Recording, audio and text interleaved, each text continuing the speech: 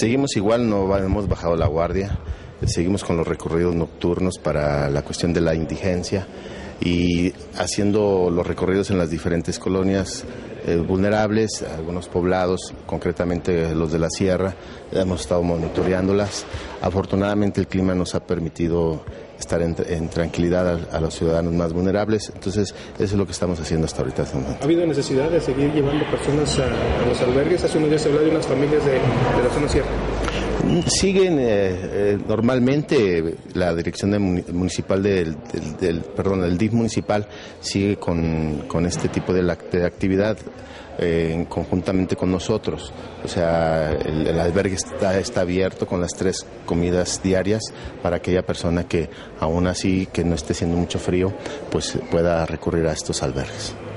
Señora, en otro tema, ¿cómo va a trabajar la dirección en la romería del 12 de diciembre? Ya estamos eh, haciendo la inspección de los diferentes, las diferentes estructuras que se están oponiendo eh, cerca del santuario. Eh, en la romería vamos a continuar el día de hoy cuando más se van a poner.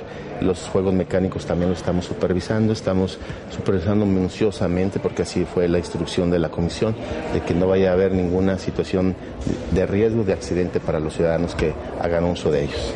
¿Ya, ya se realizó el dictamen? ¿Ya se dieron por alta, por así decirlo? No, todavía no, estamos, están, se están instalando, ahorita son, son, los son 16 juegos los que se van a instalar ahí, los vamos a supervisar todos minuciosamente y si hay alguna situación ahí que vaya a ser de riesgo, no los vamos a permitir, los vamos a inhabilitar. ¿Qué es lo que se va a verificar en los puestos?